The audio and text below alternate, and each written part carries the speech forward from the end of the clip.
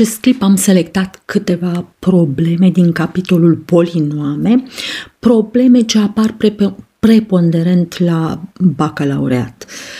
Vei vedea la început câteva exerciții extrem de simple, câtul și restul împărțirii unor polinoame, divizibilitatea polinoamelor, relațiile lui Fiet. În final am ales câteva dintre exercițiile date la bacalaureat sau propuse prin modelele de bacalaureat. Primul exercițiu află câtul și restul împărțirii a două polinoame. Uh, vom uh, efectua aceasta cu ajutorul algoritmului de împărțire. Pentru aceasta scrii de împărțitul fx la 5 minus 4x la 4 plus 7x la 3 minus 10x la 2 minus 2x plus 3 pe care îl vom împărți la x pătrat minus x plus 1. Vei împărți întotdeauna primul termen la primul termen al împărțitorului. Primul termen al de împărțitorului la primul termen al împărțitorului.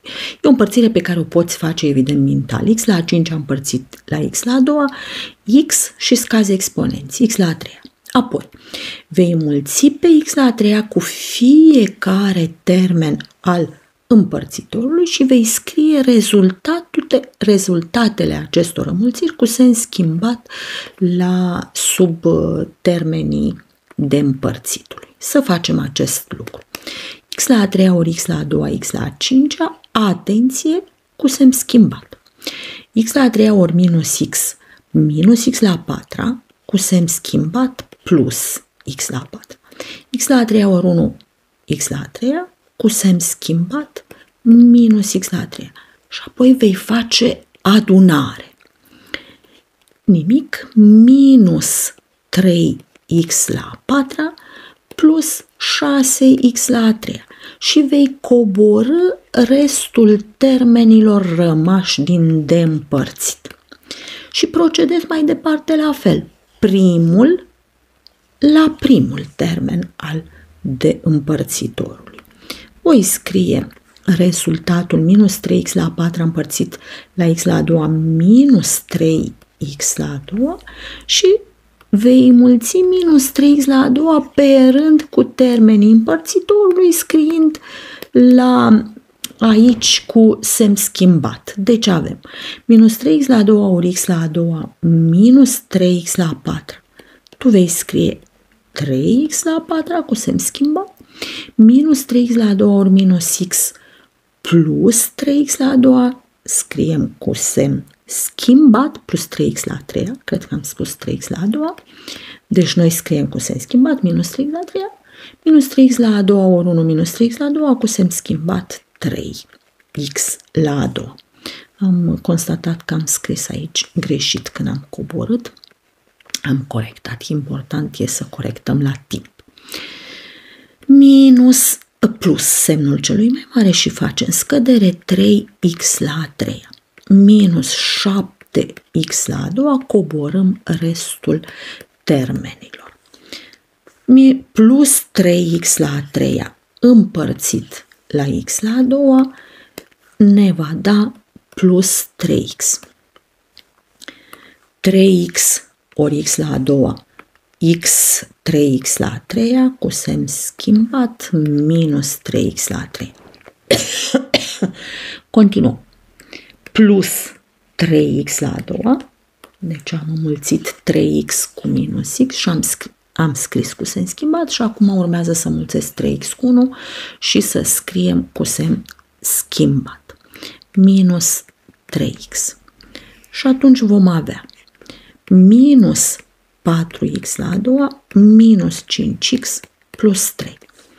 Continuăm exact același procedeu, deci avem minus 4x la a doua împărțit la x la a doua ne va da minus 4, scriem rezultatul și mulțim pe minus 4 cu fiecare termen din împărțitor. Și atunci vom avea 4x la a doua minus 4 ori minus x plus 4x cu semn schimbat minus 4x, minus 4 ori 1 minus 4 cu semn schimbat plus 4. vom avea minus 9x plus 7, cum gradul lui acestuia, minus 9x plus 7, este mai mic decât gradul împărțitorului, înseamnă că am terminat împărțirea, acesta va fi câtul, acesta va fi restul, R de X poți să scrii, C de X sau pur și simplu R și C. Acesta este împărțitorul, iar acesta este de împărțitul.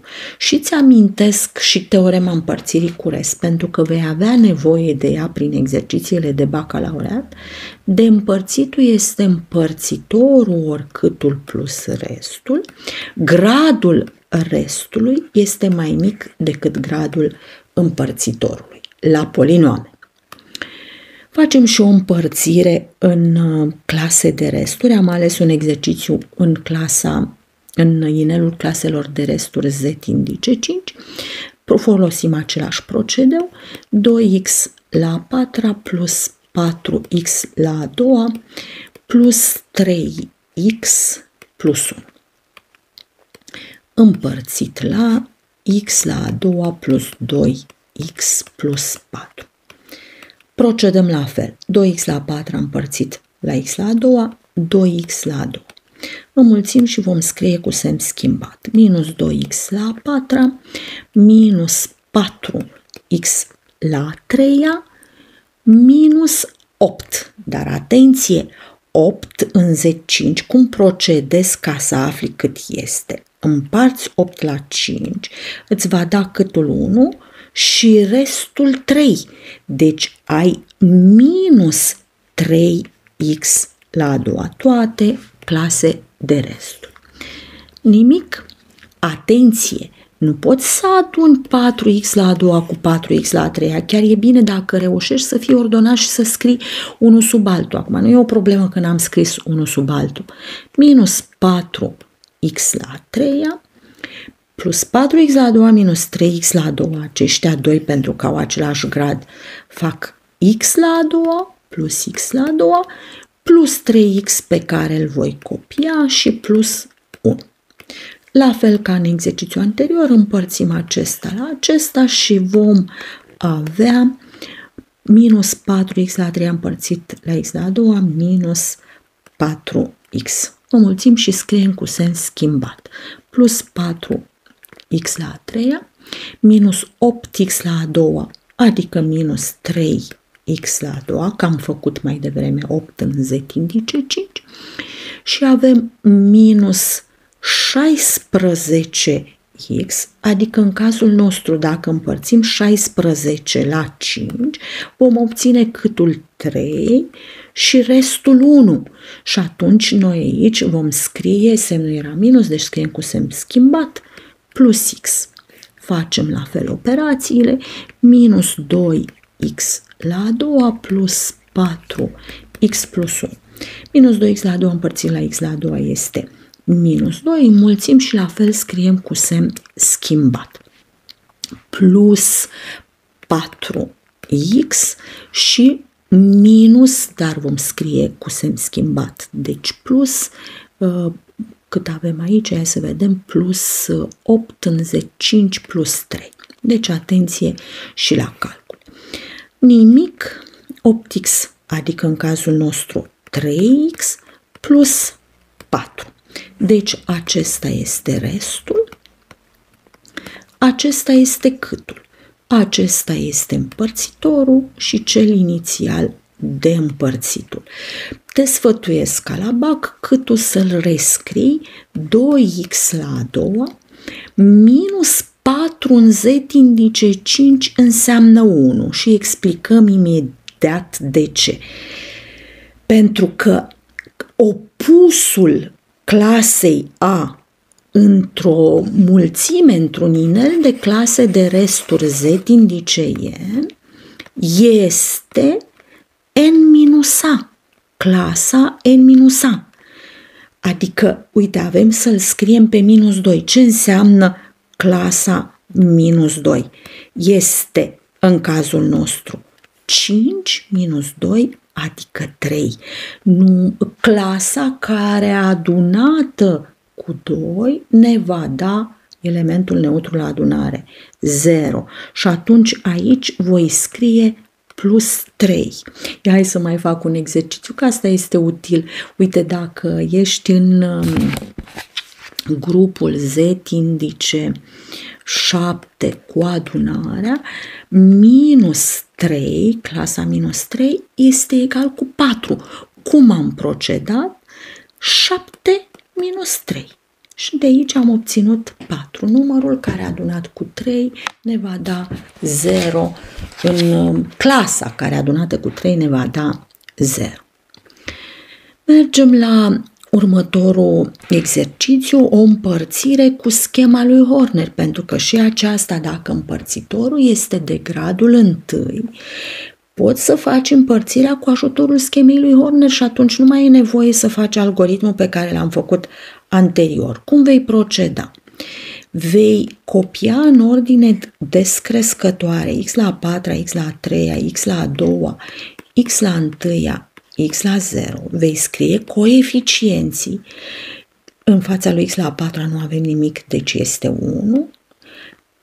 Coeficientul x la a treia este 3, coeficientul x la a doua este 2, coeficientul x este i, iar coeficientul x la 0 este 1. 1. Întotdeauna în schema lui Horner, primul coeficientul dominant, adică primul, se coboară. Deci îl coboră. Ca să facem împărțirea, cum vom proceda? Ne uităm la împărțitor și întotdeauna, fără nicio excepție, ca să afle câtul și restul împărțirii la x plus a, vei scrie în schema lui Horner opusul lui a. Privim aici la împărțitor și întotdeauna vei scrie opusul acestuia ce-l vezi lângă x. Deci opusul cu semn schimbat, adică i. Și procedezi în felul următor. Ia să iau o altă culoare. i ori 1 plus 3. Deci plus. Aici ori și acolo plus. Deci vom avea i plus 3. Apoi, i ori i plus 3 adunat cu 2. Deci avem i pătrat plus 3i adunat cu 2, i pătrat este minus 1 plus 3i plus 2 vom avea 1 plus 3i. Și vei continua exact la fel. i mulțit cu 1 plus 3i, deci i plus 3i pătrat adunat cu i plus i. Și atunci avem 3i pătrat este minus 3, i pătrat este minus 1, 2i minus 3. Și îl scriem aici. Și continuăm. Aceștia doi înmulțiți adunat cu 1. i pe lângă 2i minus 3 adunat cu 1, avem 2i pătrat, adică minus 2, minus 3i plus 1, minus 1, minus 3i. Acesta este restul restul. Ca să scrii împărțitorul, faci abstracție de această cantitate iu care aparține împărțitorului și ca să scrii câtul, că la acesta mă refeream, te vei uita aici. Și scriu câtul. Atenție! 1 ori x la a treia plus i plus 3 ori x pătrat plus 1 plus 3i ori x. Și îl mai am descris plus 2i minus 3 ori x la 0. Deci plus 2i minus 3. Acesta este câtul. Și încă un exercițiu cu schema lui Horner ca să zic eu să fie foarte clar avem x la a treia, x la a doua, x la a întâia, x la 0. Vezi, chiar dacă lipsește x la a doua, eu tot l-am pus aici în această schemă. 1. Uh, dacă lipsește x la a doua, coeficientul este 0. 2 și 3. Dacă îl împărțim la x plus 1, 1 se coboară, x plus 1, deci vom scrie opusul, minusul și procedăm. minus 1 ori 1 plus 0. Minus 1. Minus 1 ori minus 1 plus 2 fac 3. Minus 1 ori minus 3 plus 3, 0. Înseamnă că restul este 0 și câtul îl voi scrie de aici. Câtul este 1 ori x la a doua, minus 1 ori x minus x și plus 3 câtul acestei împărțiri. Află restul împărțirii lui F la G. Aici este cazul să-ți amintesc teorema restului. Extrem de des uh, apare această teoremă prin exercițiile de bacalaureat. Rest, dacă împărțim un polinom f la un polinom de forma x minus a, restul împărțirii este f de a.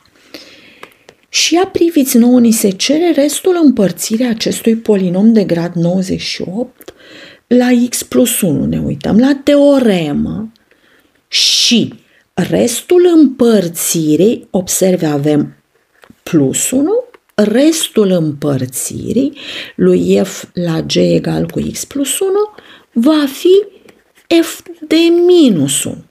Păi să facem calculele. Minus 1 la 98 plus 2 ori minus 1 la 31, minus 5 ori minus 1 la a doua, plus 2. Terminăm calculele dacă minus 1 este ridicat la putere pară. 1, minus 1 la putere impară, minus 1 mulțit cu 2, minus 2, minus 1 la a doua 1, ori 5, 5 cu semnul minus din față, minus 5 plus 2.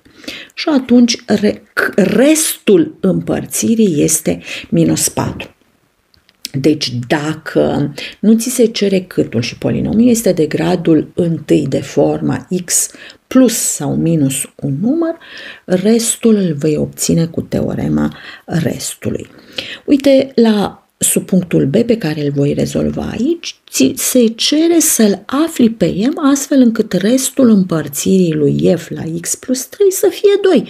Păi ne uităm la teorema restului și vom scrie direct relația f de minus 3 opus minus 3 egal restul 2. 2. Păi, cum am stabilit anterior în Z7, opusul vei obține, opusul lui 3 minus 3 este 7 minus 3. Deci f de 4 să ne dea 2. Păi și mă duc să fac calcul. 4 la 3 plus 2 ori 4 la a doua plus m ori 4 plus 1 să ne dea 2. Calculăm. 4 ori 4 în z indice 7, aici te sfătuiesc nu faci 64 împărțit la 7, cu toate că e corect și îl faci rapid. E mai ușor să faci 4 ori 4 împărțit la 7 și atunci ai 16 în Z7 este 2 și 2 ori 4 este 8 în Z7, 1 pentru că ei vei lua restul. Deci ai 1. Da, evident că și 64 împărțit la 7, când faci împărțirea, restul este 1. Plus, am stabilit că 4 ori 4 fac 16 în Z7. Împărțim 16 la 7, câtul este 2 și atunci restul 2. Deci 4 la 2 ai 2. 2 ori 2 fac 4. Vreau să ă, știu că ele întâmpină problemele astfel de împărțiri, dar ele de fapt sunt foarte ușoare. Nu trebuie să vă sperie clasele de resturi, pentru că clasele de resturi, în clasele de resturi, calculele sunt extrem de ușoare dacă ai înțeles că trebuie să iei restul. Hai să mergem mai departe. 1 și cu 4 fac 5, cu 1 6, pe care îl trec în partea cealaltă. M ori 4 este 2 minus 6 și atunci 4m este minus 4, după cum am stabilit, minus 4 în Z7 înseamnă 7 minus 4, adică 3. Și acum, problema este cât de unde îl obținem pe m. Păi gândiți așa, cu cât înmulțesc eu această relație, pentru ca lângă m să avem 1 te sfătuiesc să iei la rând. 1 ori 4, nu mi-a dat 1. 2 ori 4. Păi 2 ori 4 fac 1 în Z7 și atunci mulțim cu 2, cu inversul lui 4, că de fapt așa se numește. 2 ori 4 în Z7 fac 1, deci 1 ori M, M egal 2 ori 3, 6. Și am aflat M află restul împărțirii lui F la G. Aici știi de ce am ales acest exercițiu? Ca să facem legătura și cu teorema împărțirii cu rest, pentru că uh, restul împărțirii, observați că am, ale, am făcut un exercițiu în care uh, pe care să nu-l ă, poți împărți, să afli restul prin împărțire, pentru că gradul este extrem de mare și nu vei putea face împărțirea. Și atunci cum vei proceda? Deci vreau să afli restul împărțirii lui acestui f la g egal cu x pătrat minus 3x plus 2. Și ți amintesc din nou teorema împărțirii cu rest. De împărțitul îi împărțitorul o câtul plus restul, gradul restului este mai mic decât gradul împărțitorului. Și pentru că gradul împărțitorului la noi este 2, înseamnă că gradul restului va fi mai mic decât 2. Deci,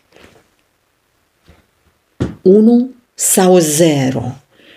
Și atunci restul nostru va avea forma ax plus b, au putând fi chiar 0. Și scriem aici teorema împărțirii cu rest. x la 98 minus 2x la 97 plus 3x la a 5 minus 2x plus 1 egal împărțitorul x pătrat minus 3x plus 2 oricâtul pe care nu-l știu, plus restul am stabilit pentru că gradul este restului mai mic, ax plus b cu a și b numere reale. Bun. Cum obținem acești a și b, deci acest rest? Vei da lui x următoarele valori. De unde le obții? Egalând împărțitorul cu 0 putând fi, chiar sunt exerciții în care ți apare aici x pătrat plus 1, de exemplu. Deci rădăcinile sunt numere complexe, dar evident numere complexe cu ajutorul cărora poți calcula ușor sau valori pe care le obții ușor. Și uite dacă vei egala x pătrat minus 3x plus 1 cu 0, făcând delta sau orice altă metodă descompunere în factori, găsești x1, 2 și x2, 1. Acestea sunt valorile pe care le vei da în egalitatea scrisă de mine aici pentru a obține A și B. Dacă îi dăm lui x valoarea 2, 2 la 98 minus 2 ori 2 la 97 2 ori 2 la 97 fac 2 la 98 pentru că adunăm exponenții de se vor reduce, plus 3 ori 2 la 5 minus 2 ori 2 plus 1 e egal. 2 la 2 minus 3 ori 2 plus 2 fac 0, 0 ori C, 0, deci A ori 2 plus B.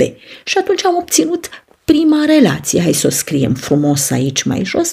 2A plus B egal 3 ori 32, 96, minus 4, 92 și cu 1, 93.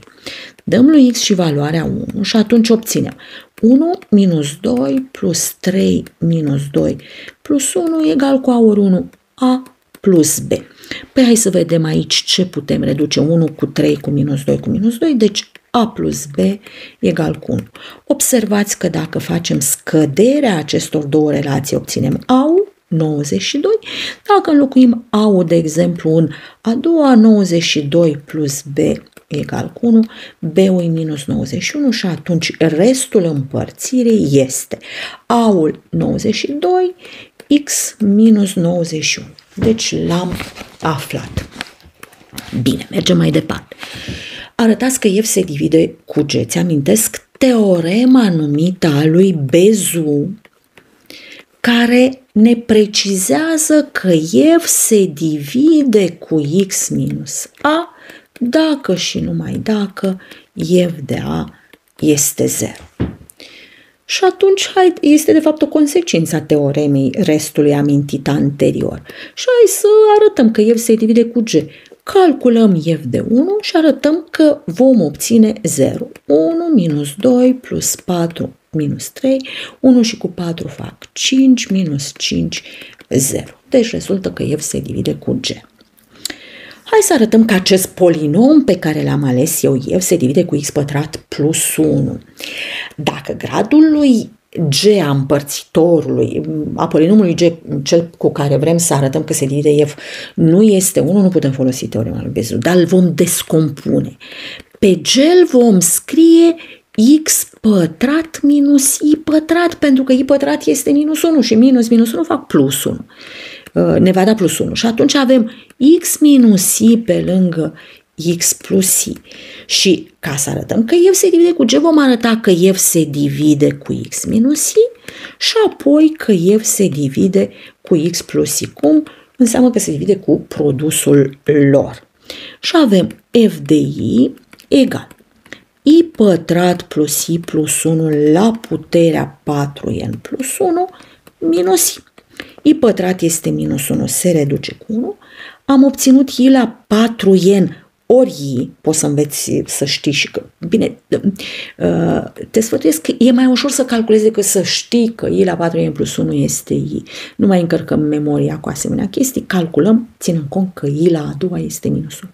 Deci avem i la a doua la 2n ori i minus i la a doua e minus 1 la 2n putere pară. Deci e plus 1 i minus i fac 0. La fel vom înlocui f de minus i și arătăm și că acesta este 0. Vom calculăm și f de minus i, vom, ar, vom avea minus i la a doua, minusul dispare prin indicare la a doua, deci avem i la a doua minus i plus 1, totul la 4n plus 1 și plus i. Păi la a doua s-a redus cu i, vom avea minus i, rămâne putere impară 4n plus 1, la 4n ori i plus i, am văzut că i la 4n e 1, deci minus i plus i 0. Deci polinomul f se divide la x pătrat plus 1. Deci atenție, vei descompune dacă geo are grad mai mare, îl descompui și arăți că fiecare eh, aplici teorema lui Bezu de câte ori ai nevoie. Bun. Aici iar îți amintesc o teoremă extrem de importantă pentru că funcțiile asociate polinoamelor sunt funcții derivabile, Ia uite-te ce teoremă avem pentru a arăta că f se divide cu x minus a la a doua.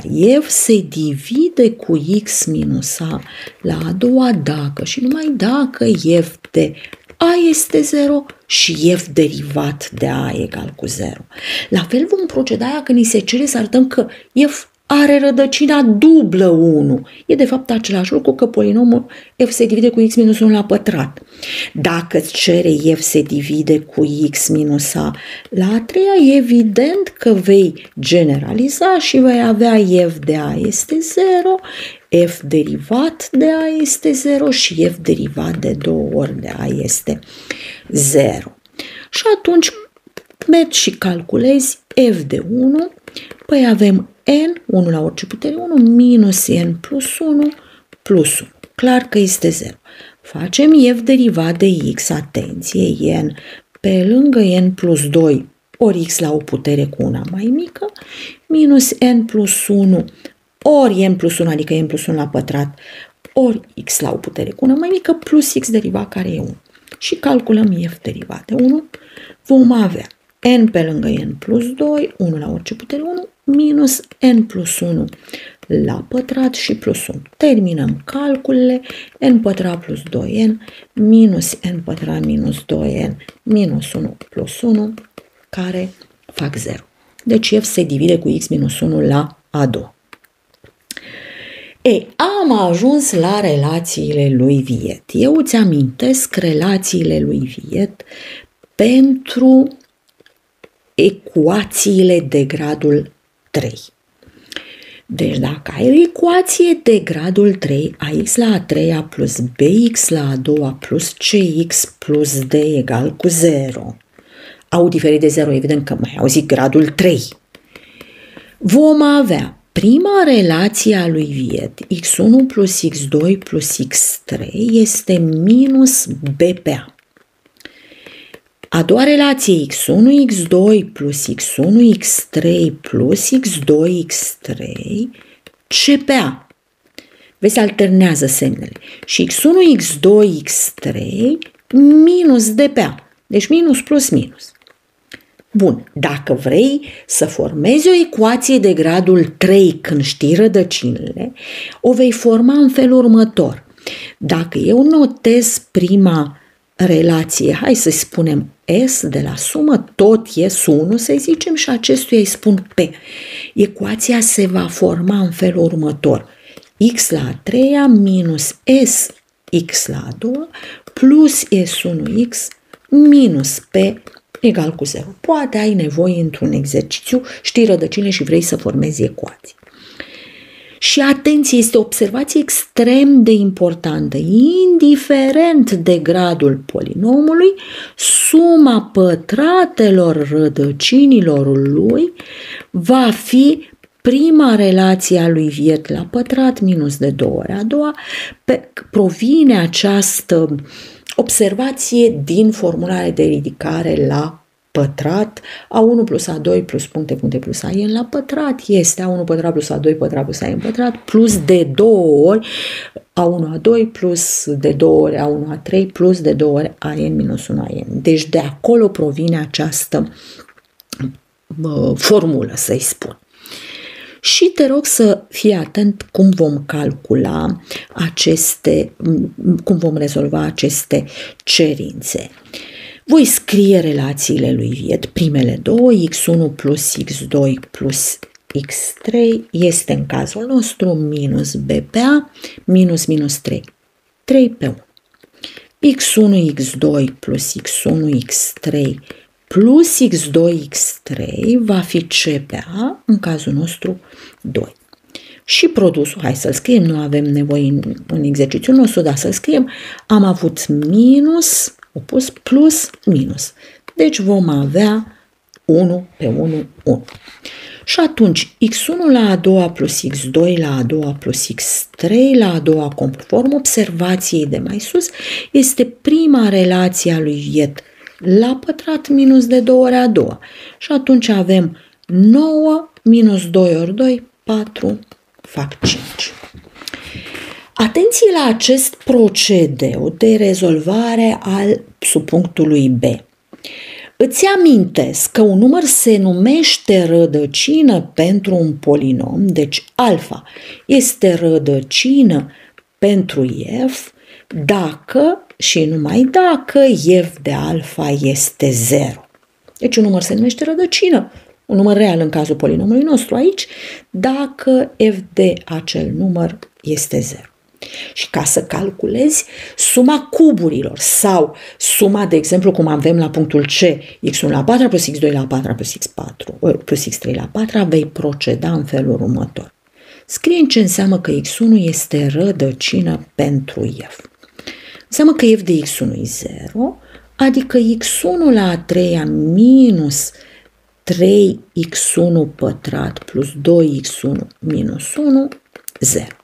Scriem și că x2 este rădăcină pentru f, ceea ce înseamnă că x2 la a treia minus 3x2 pătrat plus 2x2 minus 1 este 0.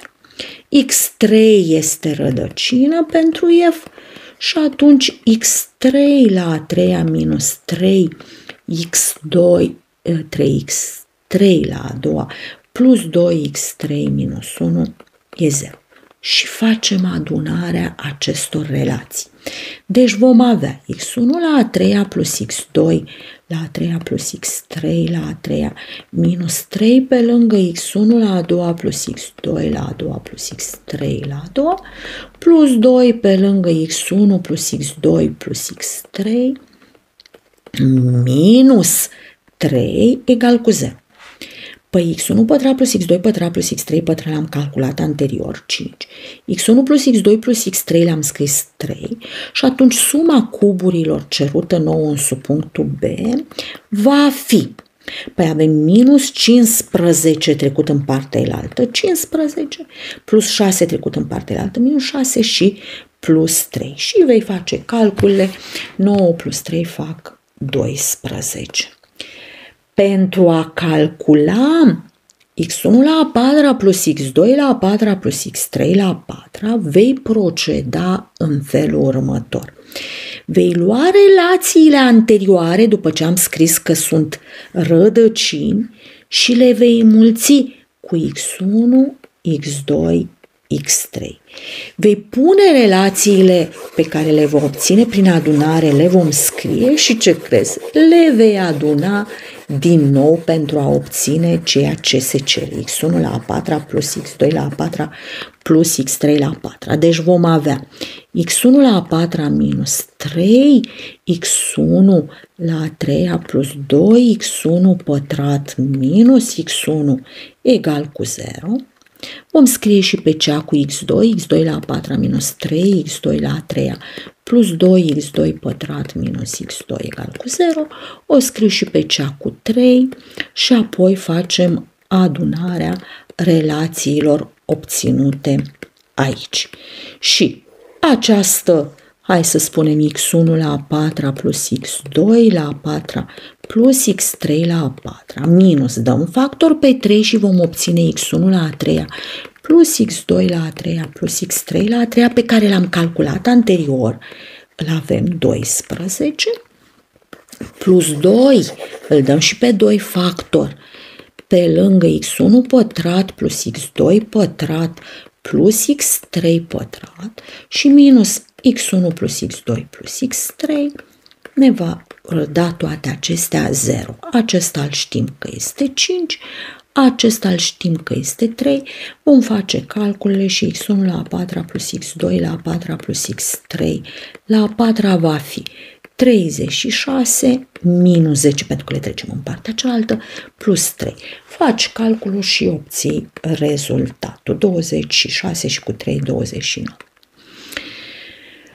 Determinați valorile lui m știind că rădăcinile acestui polinom sunt în progresie aritmetică. Este cazul să-ți scriu și relațiile lui Viet pentru ecuațiile de garat 4. ax la 4 plus bx la 3 plus cx la 2 plus dx plus e egal cu 0. Vom avea suma x1 plus x2 plus x3 plus x4 minus b pe A, S1 o să o notez eu, X1, X2, plus ia pe X1 cu toate de după el, X3 plus X1, X4, apoi pe X2 cu toate de după el, X2, X3 plus X2, X4, plus, am terminat cu X2, X3, X4, egal cu CPA. Am ajuns la S2, câte 3, X1, X2, X3, plus x1, x2, x4 plus x1, x3, x4 plus x2, x3, x4 egal cu minus dpa și produsul rădăcinilor x1, x2, x3, x4 este EPA. La fel ca în ce ți-am amintit anterior, ecuația se formează dacă știi acestea, ecuația de gradul 4, x la 4 minus sx la 3 plus s1x la 2 minus s2x plus p egal cu 0, dacă ai nevoie. Și atenție, o observație dacă ți se cere să afli un parametru astfel încât între, între rădăcini să existe vreo anumită relație, sigur vei folosi relației lui vieți, să nu încerci altă metodă. Cum scriem noi matematic că rădăcinile sunt în progresie aritmetică? O variantă ar fi să scrii x2 egal cu x1, uh, hai să le scriu în ordine aici, x1 x2, x3, x4. Rădăcinile sunt în progresie aritmetică dacă x2 este x1 plus x3 pe 2 și x3 egal cu x2 plus x4 pe 2. O variantă.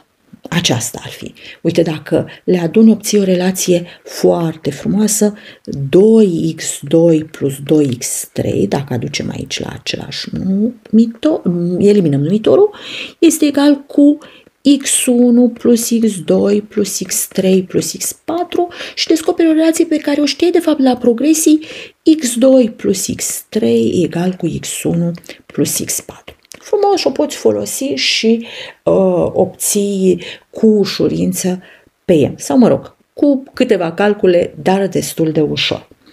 Există și o altă ți-aș sugera o notație pe care o poți folosi atunci când ai rădăcinile în progresie aritmetică.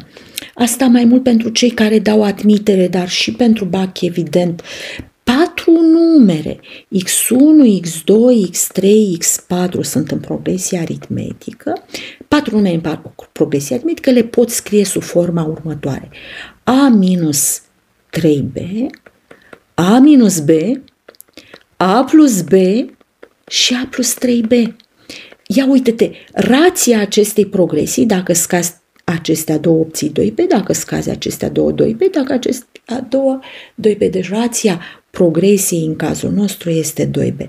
Oricare dintre metode, pe oricare ai folosit-o, adică ori x2 plus x3 egal cu x1 plus x4, ori ce am folosit eu aici, x1 e a minus 3b, x2 egal cu a minus b, x3, a plus b și x4, a plus 3b, vei obține la fel de ușor, zic eu, că chiar nu sunt grele calcule. Eu aș merge pe această notație pe care am folosit-o eu cu albastru să rezolvăm uh, problema, să-l aflăm pe ea. Mă duc și înlocuiesc în prima relație a lui Viet. Hai să scriu aici cât ar însemna la noi. Ar fi minus b pe a 10 CPA 35, aici este, am avut minus plus, minus, deci M și am avut minus plus, minus acum cu uh, plus, deci 24. Deci dacă înlocuiesc în prima relație a lui Viet și le adun pe toate, voi avea A minus 3B plus A minus B plus A plus B plus A plus 3B, deci 4A egal cu 10. De unde voi obține a egal cu 10 pe 4, adică 5 pe 2. Păi înseamnă că rădăcinile noastre au formă 5 pe 2 minus 3b, x2 este 5 pe 2 minus b, x3 este 5 pe 2 plus b și x4 este 5 pe 2 plus 3b. Unde mă voi duce cu acestea? Evit să folosesc um, cea care conține, uh, relația care conține eu. Și atunci mă duc la produs sau aici la P pentru că este ușor să le mulțim. Vom avea 5 pe 2 minus 3 bx1 ori x4 va fi 25 pe 4 minus 9 b pătrat, pe lângă x2 ori x3 25 pe 4 minus b pătrat fac 24. Și de aici o să scoatem pe B la a doua. Și atunci, după ce voi ști rădăcinile, mă duc și înlocuiesc în relația IS2 ca să-l aflu pe E. Uh, cum vreți, facem, uh, hai să fac uh, întâi calcule, voi avea 25 minus 36 B la a doua, pe lângă 25 minus 4 b la a doua egal cu 24 ori 4 ori 4, 24 ori 16. Voi nota 4 b la a doua să-l notăm Hai să notăm 4 b la a doua cu un t și atunci avem 25 minus 9 t pe lângă 25 minus t, dacă am notat 4 b la a doua cu t, este 24 ori 16. Facem calcule. Deci vom avea 9 t la a doua minus 250 625 minus 384 fac plus 241 egal cu 0. Se vede clar o soluție t pătrat egal cu 1, de unde t-ul plus sau minus 1, ceea ce nu se poate la noi, că e 4b pătrat. Deci 4b pătrat în cazul nostru este 1, de unde b la a doua e 1 pe 4. Cealaltă soluție nu ne convine că e cu minus de la t. Și atunci b-ul este 1 pe 2 sau minus 1 pe 2. Oricare dintre ele e bună pentru că doar ni le reordonează rădăcinile. Deci x1 va fi 5 pe 2 minus 3 pe 2, adică 2 pe 2, 1, x2 va fi 5 pe 2 minus 1 pe 2, adică 4 pe 2, 2, x3 va fi 5 pe 2 plus 1 pe 2, deci clar că este 3 și x4 va fi 5 pe 2 plus 3 pe 2, 8, 4. Dacă scriam cu minus 1 pe 2, veneau ordonate invers. Și atunci m va fi 1 ori 2 ori 3 plus 1 ori 2 ori 4 plus 1 ori 3 ori 4 plus 2 ori 3 ori 4 facem calculele 6 plus 8 plus 12 plus 24. 30 și cu 20, 50 este rezultatul. Arată că polinomul f nu are toate rădăcinile reale, chiar dacă aici se pare că nu ai de-a face cu relațiile lui Viet, de fapt asta vom face. Vom scrie primele două relații ale lui Viet și vom calcula suma pătratelor. x1 plus x2 plus x3 este minus b pe a. Nu e nevoie, dar dacă crezi că te ajută, scrie a-ul este 1, coeficientul lui x la a treia, b-ul este 1, coeficientul lui x pătrat, c-ul este coeficientul lui x, deci 4, și d-ul este termenul liber, adică 1. Deci x1 plus x2 plus x3 minus b pe a minus 1. x1, x2, a doua relație a lui Viet plus x1, x3 plus x2, x3. Am notat cu x1, x2, x3 rădăcinile polinomului. Este CPA, deci în cazul nostru 4. Și am precizat într-un exercițiu anterior că întotdeauna suma pătratelor, indiferent de gradul polinomului, se calculează ridicând prima relație a lui Viet la pătrat, deci minus 1 la pătrat, minus de două ori a doua. Și atunci suma pătratelor rădăcinilor noastre este minus 7 adică un număr negativ.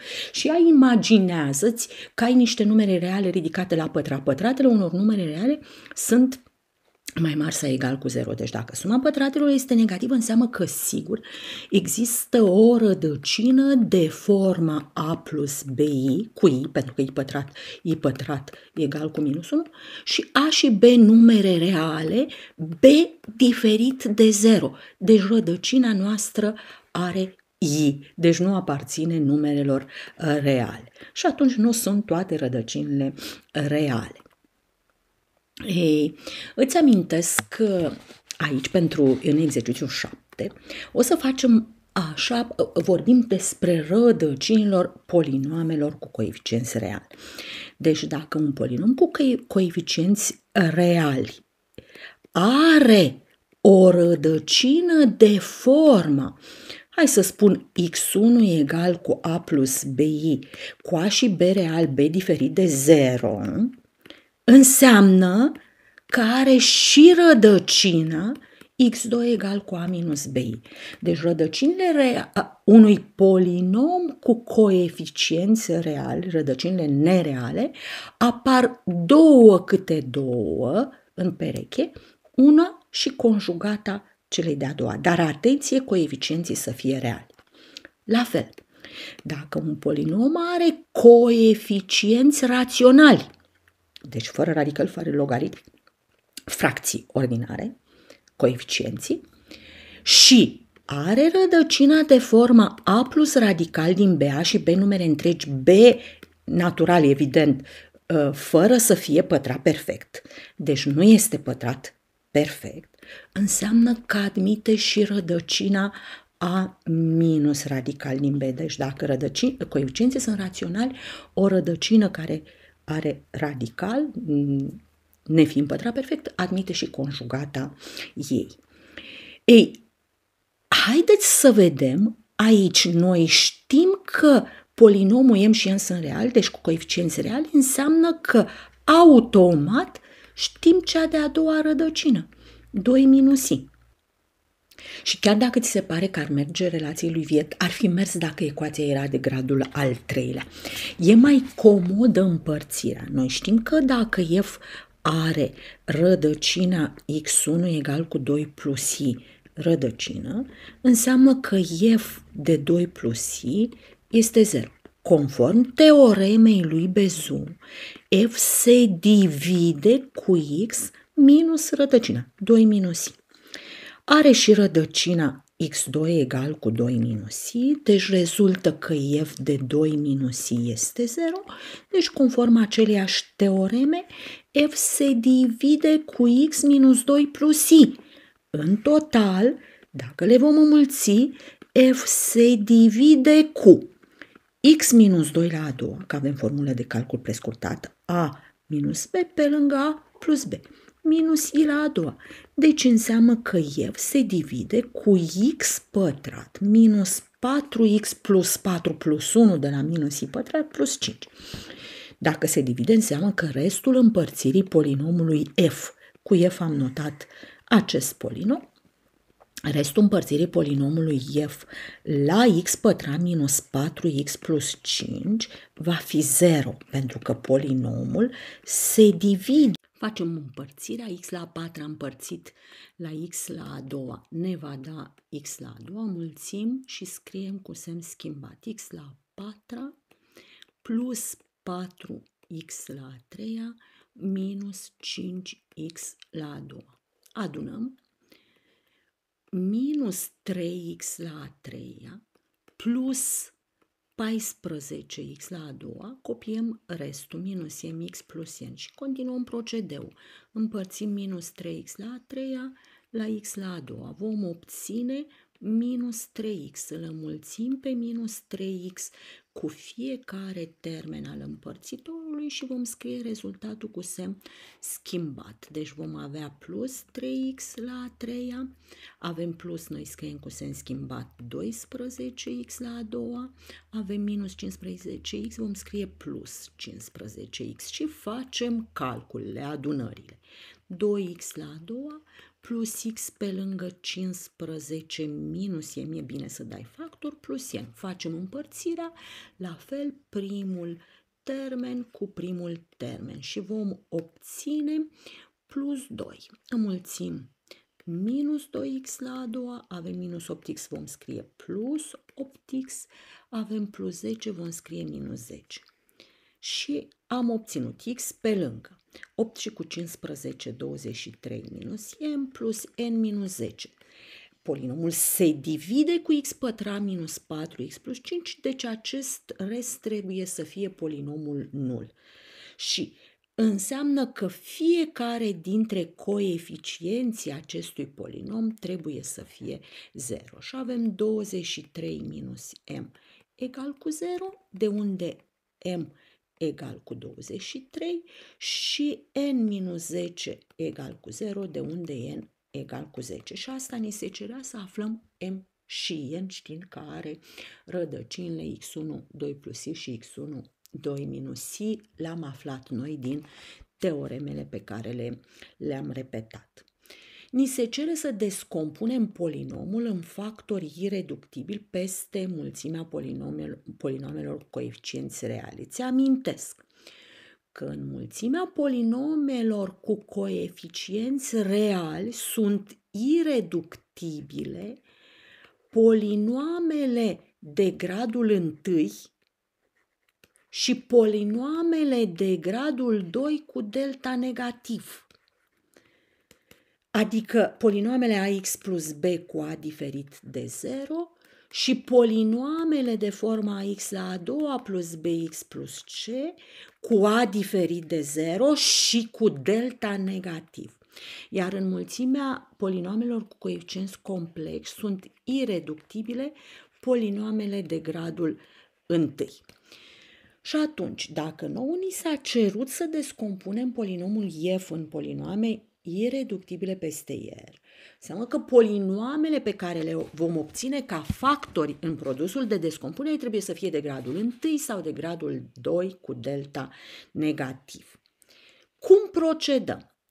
Începem să căutăm rădăcinile întregi. Rădăcinile întregi ale unui polinom cu coeficienți întregi, deci rădăcinile întregi, se găsesc printre divizorii termenului liber, cel fără x.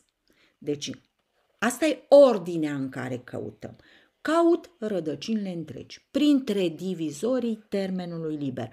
Cum căutăm? Păi un număr se numește rădăcină, alfa se numește rădăcină dacă f de alfa e 0.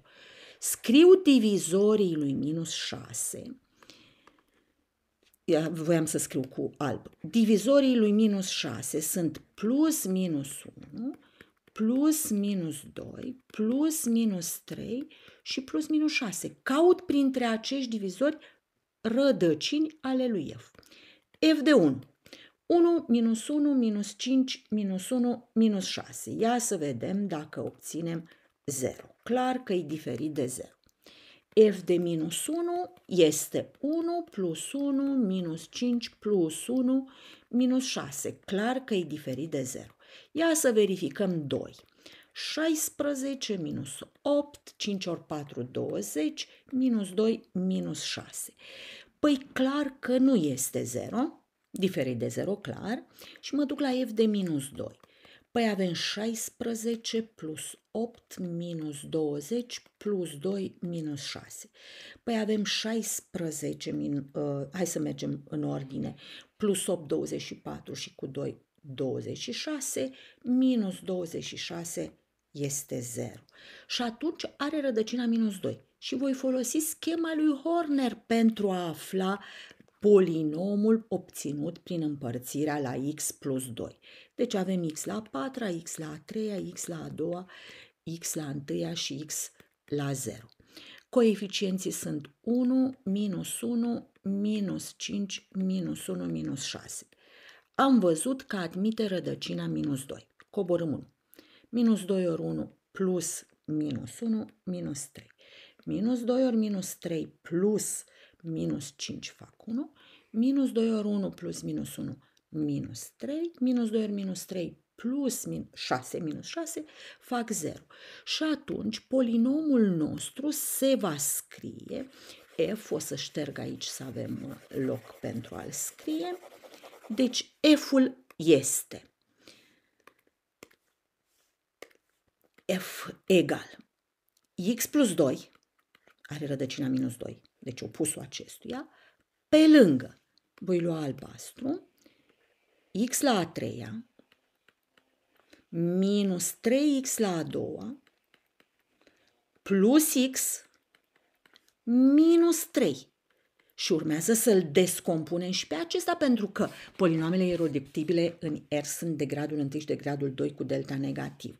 Dar aici descompunerea, dacă observați că se grupează termeni, n-are sens să te duci să mai faci schema lui Horner. Deci f este x plus 2 pe lângă. Păi din primul x la a treia și din x dau factor pe x și vom avea x pătrat plus 1, minus 3 pe lângă x pătrat plus 1, deci va, vom avea x plus 2 pe lângă x pătrat plus 1 pe lângă x minus 3. x plus 2 este de gradul 1, deci ireductibil, x minus 3 este de gradul 1, deci ireductibil, delta acestuia este b pătrat minus 4ac, deci minus 4 negativ, deci ireductibil. Înseamnă că am descompus polinomul în factori ireductibili. Căutăm și să-l descompunem polinomul din punctul B. La fel vom proceda. Căutăm rădăcinile întregi printre divizorii lui minus 1. Păi divizorii lui minus 1 sunt plus și minus 1. Verificăm.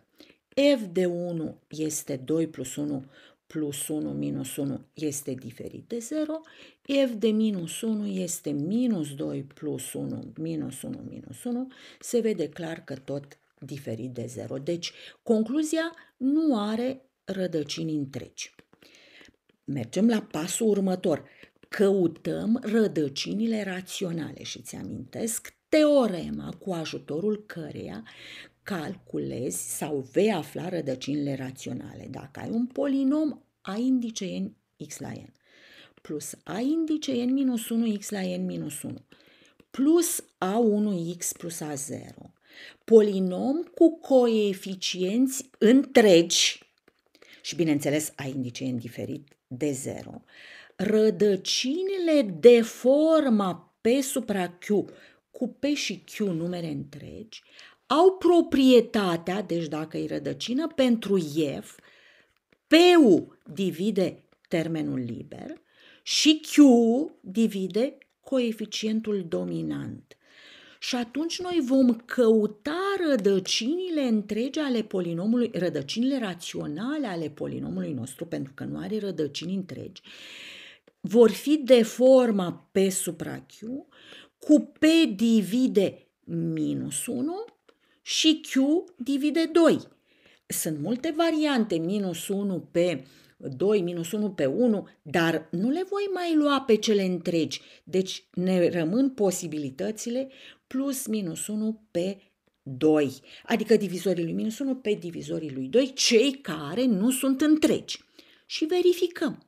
f de 1 pe 2 este 2 ori 1 pe 8 plus 1 pe 4 plus 1 pe 2 minus 1, 1 pe 4 și cu 1 pe 4, 1 pe 2 și cu 1 pe 2, 1 minus 1 este 0.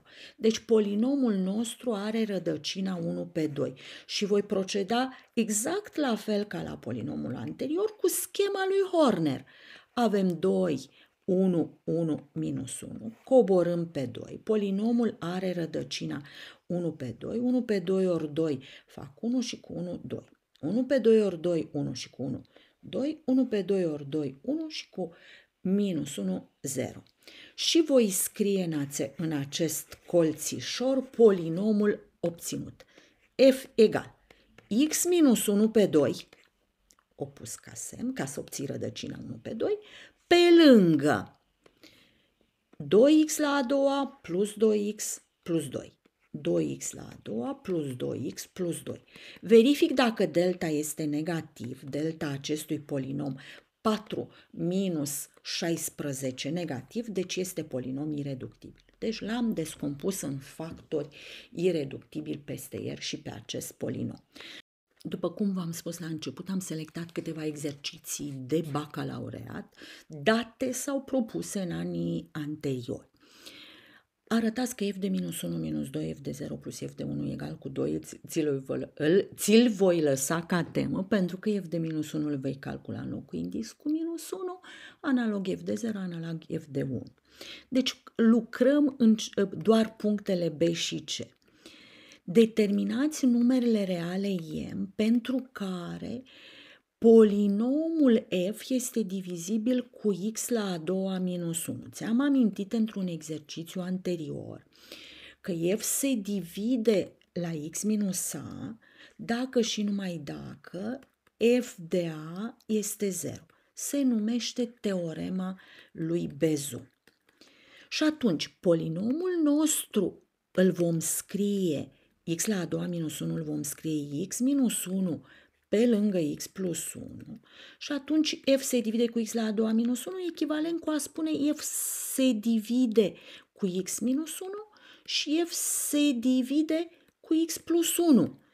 Adică rezultă f de 1 este 0 și f de minus 1 este 0. Și vom face calculele, evident.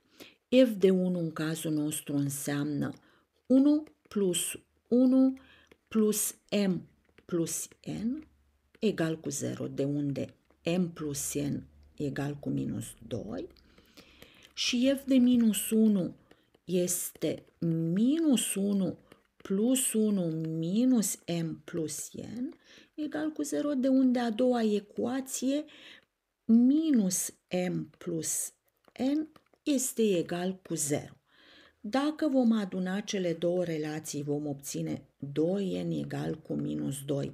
De ce nu minus 1? Mergem și înlocuim în prima, m minus 1 e minus 2, m e tot minus 1 pentru că vom face minus 2 plus 1. Deci am rezolvat primul subpunct. Pentru a rezolva pe cel de-al doilea vom scrie relațiile lui Viet. Aul în problema noastră este 1, coeficientul lui x la a treia. B-ul este tot 1, C-ul este M, iar D-ul este N. Și atunci, prima relație a lui Viet suma este x1 plus x2 plus x3, adică minus B pe A, în cazul nostru minus 1, A doua relație a lui Viet x1, x2 plus x1, x3 plus x2, x3 este C pe A, adică în cazul nostru M, M, și produsul x1, x2, x3 este minus D pe A, în cazul nostru minus E. Vom calcula suma pătratelor pentru că vom avea nevoie de ea. Deci rezultă că suma pătratelor, după cum ți-am anunțat și într-o observație anterioară, este întotdeauna, indiferent de grad, prima relație a lui Viet la pătrat minus de două ori a doua relație a lui Viet la pătrat. Deci 1 minus 2 e. Pentru a calcula x1 la a doua, x1 la a treia plus x2 la a treia plus x3 la a treia, folosim uh, faptul că x1 este rădăcină a polinomului f, deci f de x1 este 0 și scriem asta matematic. x1 la a treia plus x1 la a doua plus mx1 plus n este 0. Analog x2 este rădăcină, deci x2 la a treia plus x2 pătrat plus mx2 plus n este 0 și x3 este rădăcină, deci x3 la a treia plus x3 la a doua plus mx3 plus n este 0. Și vom aduna aceste relații cele trei relații. Deci vom avea x1 la a treia plus x2 la a treia plus x3 la a treia.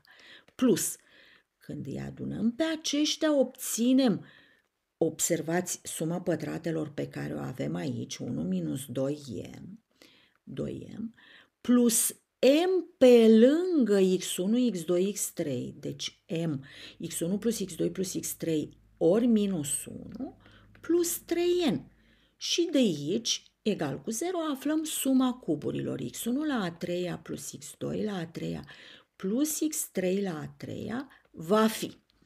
Trec în partea elaltă minus 1 plus 2m, minus m trecut plus m, minus 3n și am obținut 3m minus 3n minus 1.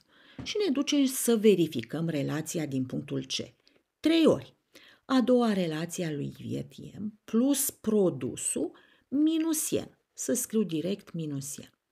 Minus suma cuburilor 3m minus 3n minus 1, trebuie să arătăm că ne dă 1. Păi facem calculele 3m minus 3n minus 3m plus 3n plus 1 egal cu 1, ceea ce este adevărat. Deci am obținut exact ce ni se cerea.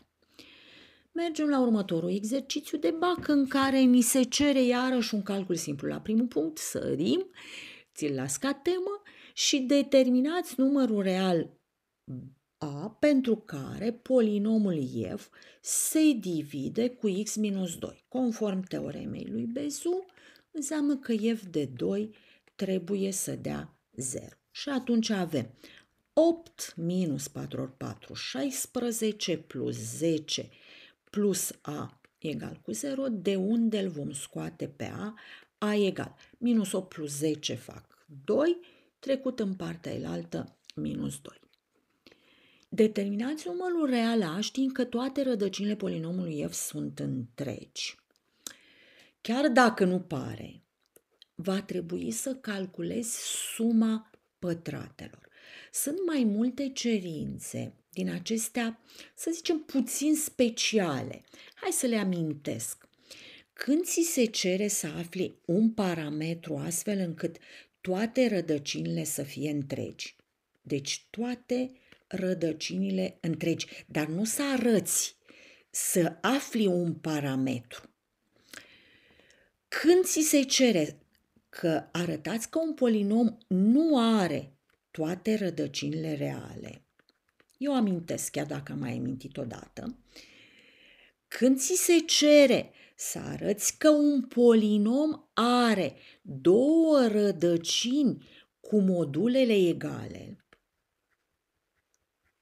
sau când ți se mai cere un polinom de gradul 3 să arăți că are cel mult o rădăcină reală. De regulă, Pentru toate aceste cerințe vei face suma pătratelor. Hai să calculăm să vedem cum folosim acest lucru. Păi suma pătratelor este prima relație a lui Viet la pătrat, în cazul nostru x1 plus x2 plus x3 este minus b pe a, deci 4, iar cea de-a doua x1, x2 plus x1, x3 plus x2, x3 este 5. Deci suma pătratelor în cazul nostru este prima relație a lui Viet la pătrat, 4 la pătrat minus de 2 ori a doua, minus 10, deci va fi 6. Haideți să ne gândim, pentru că rădăcinile polinomului sunt întregi, x1, x2, x3 sunt întregi. Ce numere întregi ridicate la pătrat ne vor da 6 suma lor, suma pătratelor, iar suma lor 4. Nu avem multe variante. Păi 1 pătrat plus 1 pătrat plus 2 pătrat fac 6. Și acum să ne gândim, evident că varianta 1 plus 1 plus 2 ne dă 4, deci această variantă este bună. x1 egal cu x2 egal cu 1 și x3 egal cu 2. Hai să aflu și au de aici. Cum îl aflăm? Ori ne ducem și scriem produsul x1, x2, x3 am avut minus b pe a, c pe a, deci avem minusa. Și atunci de aici ne rezultă minusa egal cu 2, deci a minus 2. Dar este evident ușor și să precizez că dacă ai deja o rădăcină f de 1, 1 este rădăcină f de 1 e 0 și atunci 1 minus 4 plus 5, 2 plus a egal cu 0, obținem același lucru. Alte variante de genul minus 1, minus 1, minus 2 n-au suma 4, deci nu ne convine. Minus 1, 1, minus 2 n-are suma 4, deci iarăși nu ne convine. Deci te uiți și la prima relație și la suma pătratelor. Mergem la cel de-al treilea exercițiu de bac pe care l-am selectat. F de 0 minus 1 vei face evident temă, pentru că este ușor, și mergem și ne calculăm la punctul B această sumă. x1 la a doua minus 2, x1, x2 plus x2 la a doua, deci vezi, fac câteva calcule, ca să observăm care dintre relațiile lui Viet ne, ne sunt necesare. Plus x3 pătrat plus x3 pătrat minus 2 x3 x1 plus x1 la pătrat. Deci observați că avem 2 de x1 la pătrat, 2 de x2 la pătrat, deci dăm factor 2 de x3 la pătrat. Cum și dincolo avem 2 de x1, x2, deci voi da minus în față, 2 l-am dat deja, x1, x2 plus x1, x3 plus x2, x3. Deci ne-am clarificat de care dintre relațiile lui Viet avem nevoie. Prima relație x1 plus x2 plus x3 este minus b pe a, în cazul nostru m plus 2, pentru că schimbăm semnul lui b.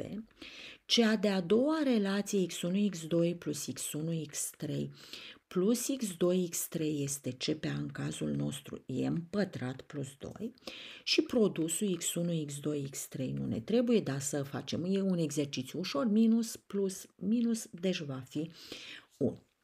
Voi înlocui suma pătratelor prima relație a lui Viet la pătrat minus de două ori a doua minus cea de-a doua relație a lui Viet m pătrat plus 2. Și evident că vom face aceste calcule. 2 pe lângă m pătrat plus 4m plus 4, avem de minus 3 ori minus 2 și cu minus 1 această cantitate, deci minus 3m pătrat minus 6, de unde avem 2 pe lângă. Minus 2m pătrat plus 4m minus 2.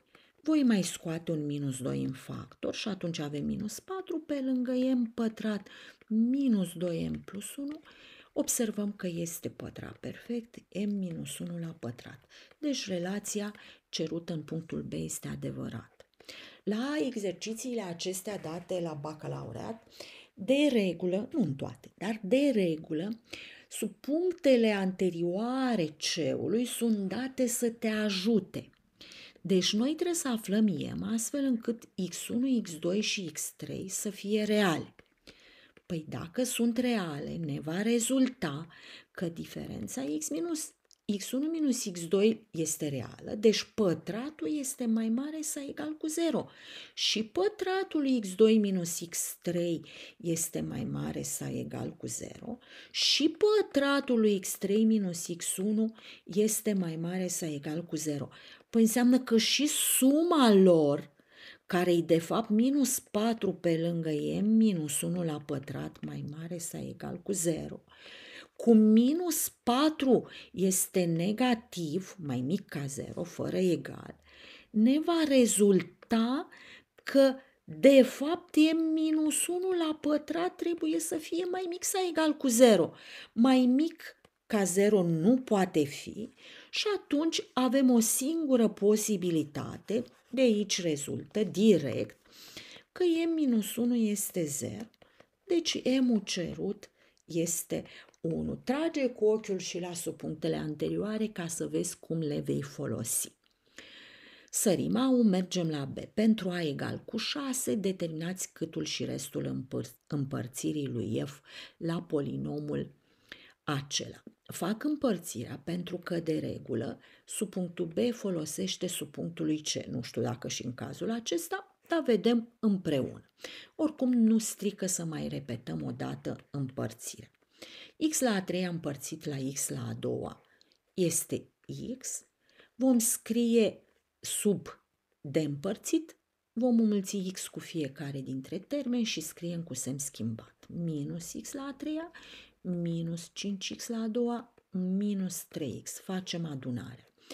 x la a doua plus 5x plus 3. Împărțim iarăși primul termen la primul termen al împărțitorului, deci plus 1 minus x pătrat minus 5x minus 3 pentru că am înmulțit iarăși pe 1 și am scris cu semn schimbat. Deci restul este 0 și câtul este x plus 1. La ce mic ne se cere să arătăm că polinomul nu are toate rădăcinile reale, cum te-am anunțat într-un exercițiu anterior, vei calcula suma pătratelor. În 90% dintre cazuri îți este utilă suma pătratelor. Cum? Prima relație a lui Viet este minus B pe A, adică în cazul nostru minus A. Iar cea de-a doua relație a lui Viet este C pe A, adică în cazul nostru 8, vom avea suma pătratelor prima relație a lui Viet la pătrat minus de două ori a doua. Dacă îi facem semnul acestei cantități, a pătrat minus 16 egalez a pătrat cu 16 și obțin minus 4 și 4 rădăcinile, între rădăcini avem semn contrar lui A, deci minus în afară semnului A, noi știm că AU este între minus 4 și 4, înseamnă că suma pătratelor ne va da un număr negativ. Păi dacă în ce condiții obținem sumă de pătrate negative? Atunci când rădăcinile conțin i. Deci rezultă că există cel puțin o rădăcină de forma a plus b cu a și b numere reale, dar b diferit de zero. Deci rădăcină care nu aparține lui el. Înseamnă că nu sunt toate rădăcinile reale. Și vei scrie în cuvinte frumos uh, concluzie. În acest exercițiu ni se cere f de 0 să arătăm că e a ușor. Amintesc la punctul B cum calculăm suma cuburilor. x1 este rădăcină pentru f și atunci x1 la a treia minus 5x1 plus a este 0, x2 este rădăcină, deci x2 la a treia minus 5x2 plus a e 0, x3 este rădăcină pentru f, deci x3 la a treia minus 5 x3 plus a e 0 și atunci suma cuburilor pe care ne-o cere problema este am adunat, minus, voi da factor comun pe 5 și avem x1 plus x2 plus x3 plus 3 de a fac 0. Cum prima relație a lui Viet, atenție aici că lipsește Vezi, ai x la a treia, n-ai x la a doua, deci b este 0. A doua relație a lui Viet o să avem nevoie la următorul subpunct, de aceea o calculez tot aici. Plus x2, x3, am avut minus bb, acum avem ce pe AC-ul la noi este minus 5. Înlocuim aceasta cu 0, deci suma cuburilor cerute 9 este plus x3 la a 3 0 trecut în partea altă 0, minus 3 și mă duc și înlocuiesc în ecuație minus 3a egal cu 2016 minus 4a, trec în prima parte cu sens schimbat 4a minus 3a, a este 2016. Și la punctul C ni se cere să demonstrăm că polinomul are cel mult o rădăcină în mulțimea numerelor întregi. Păi presupunem contrariu, că există două și x1 și x2 numere întregi. Cum x1 plus x2 plus x3 este 0, deci număr întreg, două rădăcini întregi adunate au suma tot număr întreg, dacă facem această scădere, x3 ne va da tot întreg. Deci dacă are două întregi, de fapt le are pe toate numere întregi. Păi și dacă are pe toate numere întregi, înseamnă că și suma pătratelor este număr întreg, dar pe noi de fapt nu ne interesează că e număr întreg. Ne interesează altceva. Cum? Suma pătratelor este, hai să vedem cât, păi este prima relație a lui Viet la pătrat, minus de 2 ori a doua, minus 2 ori minus 5, plus 10 este 10. Păi hai să ne gândim numere întregi care adu- ridicate la pătrat și adunate să ne dea 10. Pătratele perfecte până la 10 sunt 0, 1, 4 și 9.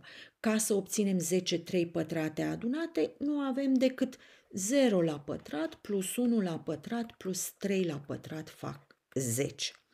Atenție pătrate! Numerele pe care le adunăm trebuie să ne dea 0. Păi 0, 1 plus minus 1 sau plus minus 3 adunate să ne dea 0, nu avem nicio posibilitate. Deci pătrate adunate să ne dea 10 avem, ă, dar numerele 0, 1 cu 3 cu oricare variantă de semn adunate să ne dea 0 nu există. Și atunci presupunerea făcută este falsă, deci polinomul are cel mult o rădăcină întreagă. Mergem la acest exercițiu în care la B ni se cere să aflăm F ști, M știind că F se divide cu X plus 1. Păi dacă F se divide cu X plus 1, înseamnă că F de minus 1 este 0. În cazul nostru, minus 1 minus M minus 3 este 0, de unde M este minus 4. La C, arătați că pentru orice număr strict pozitiv e, f are două rădăcini de module egale. Calculăm suma pătratelor. Te-am anunțat și într-un exercițiu anterior că este cerința la care dacă vei calcula suma pătratelor în 90% dintre cazuri, există și excepții, vei reuși să demonstrezi că are două rădăcini cu modulele egale. Bun, prima relație a lui Viet este minus b pe a, b x la a doua lipsește, deci 0. A doua relație a lui Viet x1, x3 plus x2, x3 este c pe a în cazul nostru e. Deci avem 0 la pătrat minus 2m minus 2m.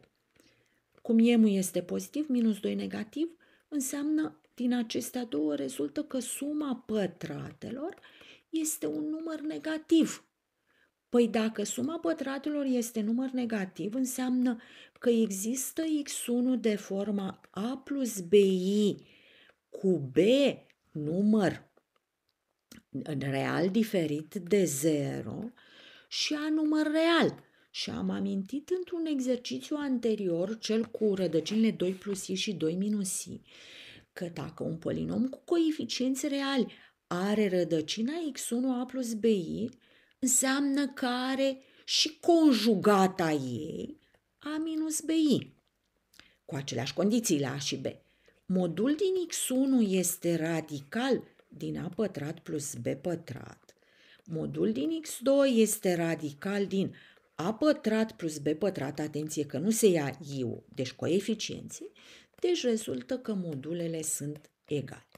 Sper că ai reținut aceste cerințe în care ți se cere, în care vei folosi suma pătratelor. Evident că era firesc să aleg și un exercițiu din clasele de resturi. Aici chiar voi face și au. Calculăm f de 1. Este 1 la a treia. 1. Hai să scriu direct, că este ușor. Plus 2 ori 1 la a doua. 2 ori 1, 2. Plus 4 ori 1, 4. Plus 3. Cum? Calculăm în Z5, 2 cu 3 fac 0 în Z5, 1 cu 4 fac 0 în Z5, deci rezultatul este 0, pentru că împarți la 5 și ei restul. Calculăm și pe f de 3, avem 3 la a 3 27. 27 în Z5 împarți 27 la 5 și ei restul. 27, 5 în 27 merge de 5 ori și restul rămâne 2. Plus 3 la a doua în Z5 este 4, 2 ori 4 fac 8, deci 3. 4 ori 3 fac 12, 12 împărțit la 5 este câtul 2 și restul 2. Deci fac 2 și plus 3. Hai să vedem rezultatul. 3 cu 2 fac 0, 2 cu 3 fac 0, deci rezultatul este tot 0. Ambele ne-au dat 0. Bun. Trecem la punctul B. Trebuie să descompunem în factorii reductibili acest polinom care, vedeți, are aceeași formă cu funcția inițială. Eu, noi știm o rădăcină, rădăcina 1, știm și rădăcina 3, deci știm sigur că polinomul se va scrie x minus 1, pentru că dacă are rădăcina 1 se divide cu x minus 1, are rădăcina 3, se divide cu x minus 3 și atunci și polinomul nostru, care are aceeași formă, se divide cu x minus 1 pe lângă x minus 3. Dar cum aflu restul, ce rămâne, câtul împărțirii? Prin schema lui Horner, evident. Voi scrie x la a treia, x la a doua, x la a întâia, x la 0. Coeficienții sunt 1, 2, 4 și 3. Voi coborâ pe 1 și împart 1 la x minus 1, deci voi pune aici 1. 1 ori 1, 1 și cu 2 fac 3, 1 ori 3 și cu 4 fac 7, în Z 5, împărțim la 5 și luăm restul. 2, 1 ori 2, 3, 2 și cu 3 fac 5, deci restul este 0, era firesc să obținem restul 0. Și atunci am scris F-ul ca, sunt cu radiera, F-ul l-am scris, P-ul, că e P, nu e F. P-ul l-am scris x minus 1, opusul acestuia, pe lângă, iau albastru, x la a doua plus 3x plus 2. x la a doua plus 3x plus 2. Și împărțim mai departe. Eu voi împărți aici în continuare dacă ți este ușor, mai ușor să faci împărțirea separată a acestui. Bine, dar poți să faci și în continuare, pentru că știm că are rădăcina 3. x minus 3 egal cu 0. Coborâm 1, 3 ori 1, 3, plus 3 în Z5, 6 în Z5, 1, 3 ori 1, 3, plus 2 fac 0, care este restul. Și atunci îl voi scrie pe P ca x minus 1 pe lângă x minus 3. Atenție că noi ne-am deplasat că am făcut ă, de două ori împărțirea, deci cu două grade. Deci ne-au rămas x, 1 ori x plus 1 ori x la 0, x plus 1. Dacă crezi că te va încurca, ia polinomul scris cu albastru și îl împarți la x minus 3. Și polinomul P se scrie x plus 4, pentru că am stabilit când z indice 5, clasa minus 1 se obține scăzând din 5 pe 1. Este egală cu clasa 4. X plus 2, din același motiv, pe lângă x plus 1. Adică clasa minus 3 am obținut-o făcând 5 minus 3. Bun. Și arătați că funcția nu este surjectivă. Îți amintesc că o funcție se numește, se numește funcție surjectivă, o funcție în general, nu pe clase de resturi, definită pe o mulțime A cu valori într-o mulțime B. Se numește surjectivă dacă oricare ar fi Y din B, există X din A, astfel încât f de x egal cu y.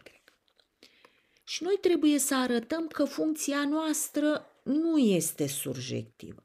Avem o funcție definită de la, cla- de la hai să le iau în ordine, de la mulțimea claselor de resturi z indice 5, 0, 1, 2, 3 și 4 la aceeași mulțime. 0, 1, 2, 3 și 4. Calculasem în punctul A că f de 1 ne-a dat 0 și f de 3 ne dăduse tot 0. Calculăm f de 0 și observăm că este 3. Bun. Calculăm pe f de 2, care e 2 la a 3 8 în Z5 este 3. 2 ori 2 la a doua, 2 la a treia, deci tot 3. 4 ori 2, tot 3, plus 3. 6 în Z5 este 1, împărțim și luăm restul. 1 și cu 1 fac 2. Deci f de 2 ne-a dat 2. Și îl mai avem de calculat pe f de 4. Păi ca să-l calculăm pe f de 4, avem 4 la a treia, plus 2 ori 4 la a doua, plus 4 ori 4 plus 3. Hai să vedem cât e.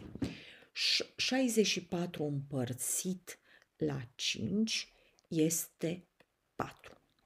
Poți să faci și 4 ori 4 și apoi rezultatul să-l înmulțești cu 4. Obții același lucru, vei obține același lucru. 4 la a doua este 1 pentru că 16 împărțit la 5 ne dă restul 1. 2 ori 1, 2. 4 ori 4 am văzut că este 1, 3 este 3. Și atunci când vom adăuna aceștia, observăm că este 0. Put- știam de fapt și de dinainte, dar mă rog, l-am mai socotit odată.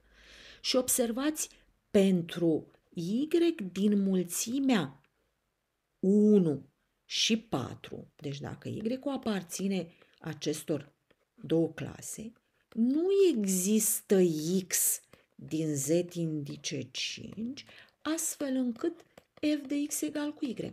Deci funcția nu este surjectivă. Scrii concluzia acolo la bacalaureat. Bun, un exercițiu dat la un bacalaureat cu ani în urmă, da, în sesiunea din toamnă, în care ni se cere să aflăm restul împărțirii lui, la primul punct, restul împărțirii lui f la x minus i. Ți-aduc aminte teorema restului, restul împărțirii unui polinom la x minus a este f de a deci în cazul nostru f de i.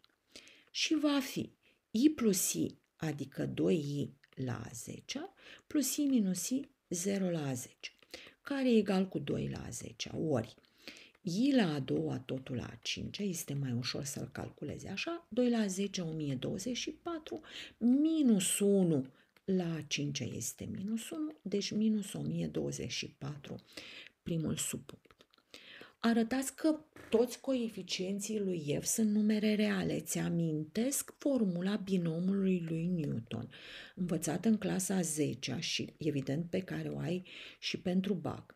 A plus B la N este combinări de N luate câte 0 A la N plus combinări de N luate câte 1 A la N minus 1 B plus combinări de N luate câte 2 A la N minus 2 B la a doua plus combinări de n luate câte n, b la n. Dacă b are semnul minus, se schimbă în fața combinărilor impare se schimbă semnul. Și atunci noi vom calcula pe x plus y la puterea a 10, îl vom calcula și pe x minus y la a 10 și pe aceea îi vom aduna. Combinări de 10 luate câte 0x la a 10 plus combinări de 10 luate câte 1 x la a 9 ori y plus combinări de 10 luate câte 2 ori x la 8 ori y pătrat, dar y pătrat este minus 1 și atunci pun direct semnul. Mai scriu încă 1 plus combinări de 10 luate câte 3x la a 7 y la a 3 care e la a doua ori y, deci minus i și așa mai departe, îl scriu doar pe ultimul, combinări de 10 luate câte 10, x la 0 nu mai punem i la 10 pe care îl calculasem mai sus și era minus 1. Deci minus combinări de 10 luate câte 10. Când îl vom calcula pe x minus y la 10, vei schimba doar semnul în fața combinărilor impare. Deci minus combinări de 10 luate câte 1x la 9y. Aceasta are, combinarea este pară, păstrăm semnul. Combinări de 10 luate câte 2x la 8 este impară, schimbăm semnul. x la 7y. Ultima este pară, deci se păstrează semnul. Și când le vom aduna, vom obține F-ul. F-ul este de două ori. Combinări de 10 luate câte 0x la 10, aceștia se simplifică, se reduc, minus de două ori combinări de 10 luate câte 2x la 8, se reduc, vom avea de două ori, că semnul plus, combinări de 10 luate câte 4x la 6, apoi avem minus de două ori combinări de 10 luate câte 6 x la 4, apoi plus de două ori combinări de 10, am scris mai mic, luate câte 8 x la 2 și minus de două ori combinări de 10 luate câte 10. Nu avem niciun, niciun i. Combinările sunt numere naturale, deci toate toți coeficienții sunt numere reale. Coeficienți, da? Doi combinări, coeficienți sunt reali. Coeficienții sunt reali. Evident, poți să-i și scrii sau pun așa semne, toți coeficienții sunt reali. Deci am demonstrat punctul B și la ce ni se cere să arătăm că toate rădăcinile polinomului sunt numere reale. Și aici există mai multe metode. Eu voi lua cea mai ușoară metodă după mine. Poți să rezolvi și să afli rădăcinile sau poți să presupui contrariu. Presupunem că există o rădăcină de forma A plus BI, A și B reale, cu B diferit de 0. Păi dacă este rădăcină, înseamnă că f de a plus bi ne va da 0. Înseamnă că a plus bi plus i la 10 plus a plus bi minus i la 10 este 0. Dacă duc în partea cealaltă avem a plus bi plus i la 10 egal cu a plus bi minus i la 10, dar cu semnul minus. Aplic modul. Înseamnă că modulul, ă, ă, puterea este în afara modului, modul din A plus I pe lângă B plus 1, totul la 10 este modul din minus A plus I pe lângă B minus 1 la puterea a 10. Modulele sunt numere reale pozitive. Deci dacă extrag radical de ordinul 10 sau ridic la puterea 1 pe 10, am o singură variantă. Hai să spun că ridic la puterea 1 pe 10. Deci avem modul din A plus I pe lângă B plus 1 egal cu modul, modul din minus A este modul din A, indiferent că numărul e real sau uh, complex. Este modul din A plus I pe lângă B minus 1.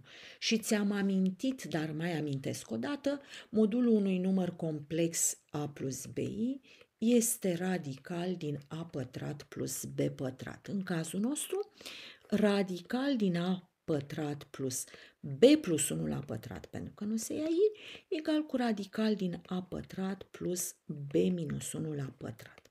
Ridic la pătrat și voi face și calculul. Avem a pătrat cu a pătrat se reduc b pătrat plus 2b plus 1 egal cu b pătrat minus 2b plus 1. Reducem 1 cu 1, reduc, eh, mi-a luat o rasna această, acest pen, b pătrat cu b pătrat, se blochează. Tableta mea este mult, foarte veche, de vreo 8-9 ani și atunci nu mai funcționează chiar bine. 4b egal cu 0, deci b egal cu 0. Și ea priviți ce contradicție avem. B-ul nu are voie să fie zero, contradicție, deci de ce apare această contradicție? Că am presupus că are o rădăcină care nu e reală. Deci presupunerea făcută este falsă, înseamnă că toate rădăcinile polinomului sunt reale. Și mai avem două exerciții. Exerciții mai grele din modelele sau date anterior la BAC Primul, evident că nu, mm, cu toate că este important pentru noi, f de 1 este 0, evident că înlocuim, ia să iau pixul cu alb, deci vom înlocui f în, în f cu 1 avem n plus 1 minus n minus 1 ne dă 0. De aici, atenție, tragem și o concluzie nouă, ne-au, atâta ne-au cerut, dar este important pentru noi că 1 este rădăcină a polinomului f nu era necesar aici. Arătați că dacă n este număr impar mai mare sau egal cu 3, f se divide cu x pătrat minus 1, pe care îl scriem x minus 1 pe lângă x plus 1. Păi știm că f de 1 este 0 întotdeauna, deci f se divide cu x minus 1. Calculăm și f de minus 1, n ori minus 1 la n plus minus 1 la a doua, minus n ori minus 1 minus 1, cum n este impar, rezultă că f de minus 1 este minus n plus 1 plus n minus 1, deci este 0. Ni se cere la punctul C să arătăm că polinomul nu are rădăcini în mulțimea Q minus Z, fracții, fără să fie numere întregi. Deci presupunem contrariu că există rădăcini de formă. Pe supra Q, pe și Q numere întregi, evident că Q nenul, pentru că nu avem voie să avem 0, și Q diferit de plus sau minus 1, pentru că altfel ne-ar da număr întreg. Și nouă ne-au ne zis uh, din mulțimea Q minus Z și vom lua fracția ireductibilă, adică să nu se simplifice numere de forma 2 pe 3, 3 pe 5 sau de genul acesta. Păi rădăcină pentru f. Dacă e rădăcină pentru f, înseamnă că f de p supra q va da 0, ceea ce înseamnă că n ori p la n pe q la n plus p pătrat pe q pătrat înlocuiesc în polinom minus n ori P pe Q minus 1 fac 0. Numitorul comun este Q la N. Voi amplifica cu Q la N minus 2, Q la N minus 1 și Q la N. Deci vom obține N ori P la N plus P pătrat Q la N minus 2 minus N pe Q la N minus 1 minus Q la N egal cu 0. Și hai să ordonăm puțin acestea. Deci avem n pe la n egal.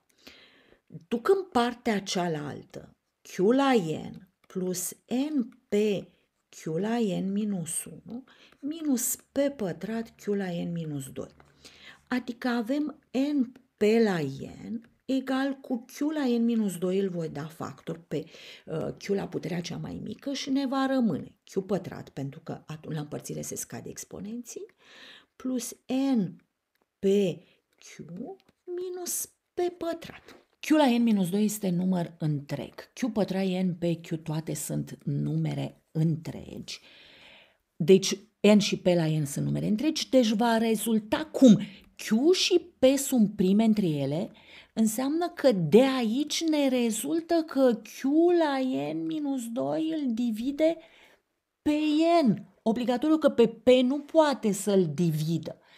Știm că N este mai mare sau egal decât 5. Q-ul nostru, am spus aici că nu poate fi nici 1, nici minus 1. Hai să convenim că Q este natural și îl lăsăm pe P cu semnul plus sau minus, ca să ne fie nouă mai ușor aici de demonstrat. Deci un număr natural, nenul și mai diferit de 1. Deci Q este mai mare sau egal decât 2. Și a priviți, avem un număr Q mai mare sau egal cu 2, deci Q la n minus 2 este mai mare sau egal decât 2 la n minus 2, Q divizor al lui n. Păi dacă e divizor al lui n, înseamnă că Q la n minus 2 este mai mic sau egal decât n. Îmi fac loc aici să precizez că Q este mai mare sau egal decât 2 la n minus 2 Bun. Adică am obținut că pentru n mai mare sau egal cu 5, 2 la n minus 2 este mai mic sau egal decât n. Ceea ce e fals. Ia uite și dacă pui n 5, ai 2 la a treia mai mic sau egal cu 5. De la 5 încolo, de fapt, n e mai mare sau egal decât 2 la n minus 2. Deci presupunerea făcută este falsă. Un uh, subiect dat cu ani mai în urmă la bacalaureat au este extrem de ușor, arătați că polinomul f are rădăcina minus 1, f de minus 1 evident că va da 0. Ne ocupăm de b. Dacă P și Q sunt numere complex conjugate, sunt numere complexe și polinomul G are două rădăcini distincte complex conjugate, atunci P și Q sunt reale cu P pătrat mai mic decât 4Q. Păi dacă polinomul nostru are rădăcini complex conjugate, înseamnă x1 este a plus bi și x2 egal cu a minus bi. Cu a și b numere reale, b diferit de 0. b diferit de 0. Calculăm suma rădăcinilor, x1 plus x2 va fi 2a. Dar noi știm că suma din relații lui Vieti minus BPA, în cazul nostru minus PP1 este 2A, 2A este număr real, deci P-ul real. Calculăm produsul x1 ori x2, a plus bi pe lângă a minus bi a pătrat minus b pătrat i pătrat, i pătrat e minus 1, deci plus b pătrat. Cum a și b sunt numere reale, produsul nostru este c pe a q egal cu a pătrat plus b pătrat, care sunt reale, deci rezultă că Q este număr real. Am arătat că sunt reale. Hai să vedem de unde va ieși că P pătrat mai mic ca 4Q. Păi dacă are ecuația noastră are rădăcini complexe conjugate, înseamnă că delta este negativ. Delta este P pătrat minus 4Q negativ, va rezulta P și Q sunt reale, că P pătrat mai mic decât 4Q și am demonstrat uh, relația cerută în punctul B. Să vedem cea din punctul C. Noi știm că polinomul nostru are rădăcina minus 1. Înseamnă că f se divide cu x plus 1. Hai să facem schema lui Horner ca să observăm care este polinomul din care voi afla celelalte rădăcini. Deci facem schema lui Horner. Avem x la 3, x la 2, x la 1, x la 0. X la 3, x la 1, x la 2, x la 1 și x la 0. Cu 1, 1 minus alfa, alfa minus 2 ori i și alfa plus alfa minus 2 ori i. Împărțim, rădăcina este minus 1, minus 1 ori 1, minus 1 aduna cu 1 minus alfa, avem minus alfa. Minus 1 ori minus alfa, alfa, plus alfa minus 2 ori Înmulțim cu minus 1, clar că aici vom obține 0 atunci când adunăm. Deci f-ul nostru se scrie x plus 1 pe lângă x pătrat minus alfa x plus alfa plus alfa minus 2 ori i. De aici obțin rădăcina minus 1, deci nu poate fi vorba de rădăcini distincte complex conjugate. Deci rădăcini distincte complex conjugate le vom obține de aici. Păi acesta este un polinom de tipul G-ului. G este polinomul G care trebuie să aibă rădăcini complex conjugate și am demonstrat că G are rădăcini distincte complex conjugate în ce condiții? În condițiile în care P și Q sunt numere reale. Păi P-ul minus alfa trebuie să fie real, minus alfa real, iar Q nostru este alfa plus alfa minus 2i și ca acesta să fie real înseamnă că trebuie să dispară i deci alfa minus 2 să fie 0. Deci alfa egal cu 2. Stai aproape că voi încerca să mai pun și alte exerciții uh, din capitolul polinoame, exerciții care să-ți fie utile pentru examenul de bacalaureat sau pentru cel de admitere. Concluzia